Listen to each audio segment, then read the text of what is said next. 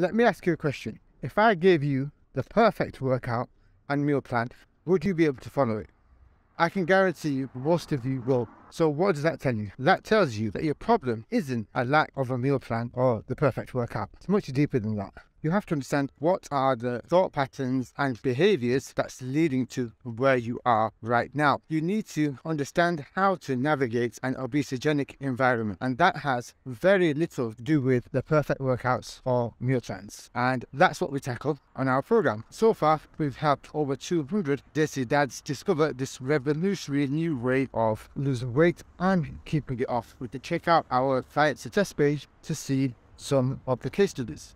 Right now, you are probably thinking if I had the perfect workout plan and meal plan, I'd be able to get to my perfect body weight and stay there. Well, I'll tell you, you're completely wrong, and that's a part of the problem is that you are completely unaware of what you really need to lose weight and keep it off. And if you'd like to discover that, our revolutionary new way of losing weight and keeping it off that we've had over 200 Desi dads to discover, then drop me a message.